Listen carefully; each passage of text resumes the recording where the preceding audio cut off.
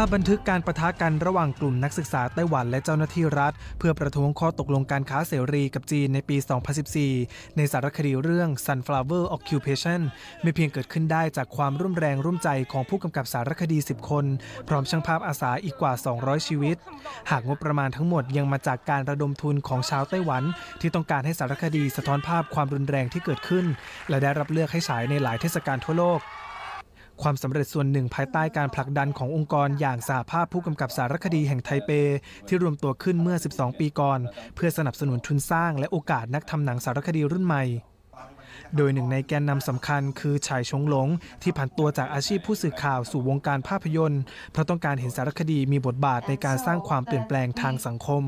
underpress yourself too much. 然后因为纪录片在台湾有发展，大概有发展二三十年的历史，所以台 ผู้ 湾人 กำกับ 对纪 สาร 录 คดี 片 ชาว 是 ไต้หวันเล่าว่าสิ่งที่ทำให้สารคดีไต้หวันโดดเด่น คือการที่ผู้สร้างมีอิสระในการเสนอประเด็น เพราะไม่ถูกขัดขวางจากเจ้าหน้าที่รัฐ และยังได้แรงสนับสนุนจากประชาชน ซึ่งนิยมสารคดีมากกว่าภาพยนตร์ฟิกชั่น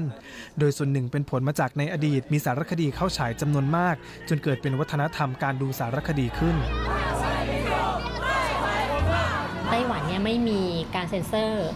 แล้วก็ไม่ต้องจัดเรตติ้งภาพยนตร์อะไรเงี้ยหมายความว่าคนทำหนังและศิลปินเนี่ยสามารถนำเสนออะไรก็ได้ ที่เขาคิดว่ามันควรค่าจะนำเสนอ แล้วก็หาที่เผยแพร่แบบไหนก็แล้วแต่ แล้วก็เผยแพร่มันไปสู่คนดูที่เขาต้องการอะไรเงี้ยคือเราว่าไอ้ความเปิดกว้างแบบเนี้ยมัน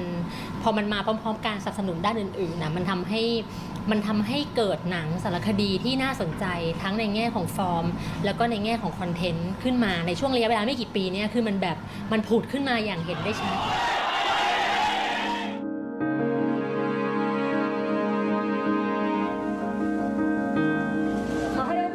ความนิยมของคนไต้หวันที่มีต่อสารคดีครับส่วนหนึ่งนอกจากพิสูจน์ได้จากการจัดเทศกาลเกี่ยวกับภาพยนตร์สารคดี ทั้งในไต้หวันเองแล้วก็รวมไปถึงต่างประเทศแล้ว ยังเห็นได้จากการที่ในไต้หวันเปิดพื้นที่ให้กับภาพยนตร์สารคดีจากนานาชาติเข้าไปมีพื้นที่ฉายด้วยครับ อย่างของไทยเองปีที่ผ่านมาก็มีสารคดีเรื่องนิรันดราตรี ของคุณวัฒนภูมิลายสุวรรณชัยได้โอกาสได้ฉายในเทศกาลไทเปฟิล์มเฟสติวัลด้วยครับ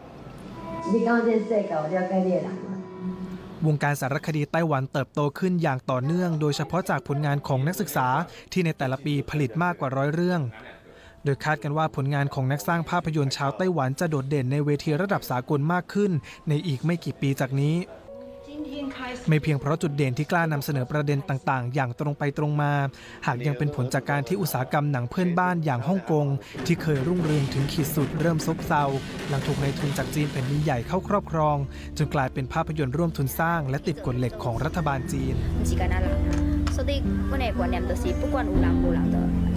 คนไต้หวันยังมีคนใหม่ ๆ เกิดขึ้นอยู่ตลอดเวลาขณะเดียวกันก็ยังมีคนรุ่นเก่านๆนะฮะยัง ยังคอยพยุงเป็นฐานเป็นปีกให้ ซึ่งถ้าเทียบกันกับ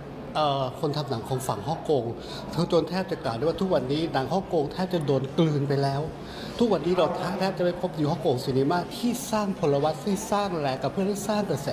เนื่องจากถูกถูกกลืนดูดกลืนเข้ากับทาง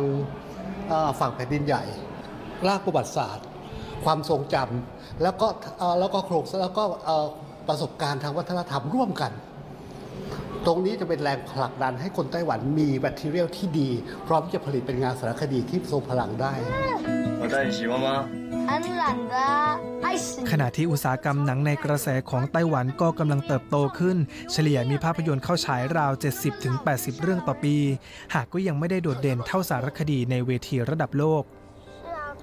กวินพบพันธุเริกไทย PBS รายงาน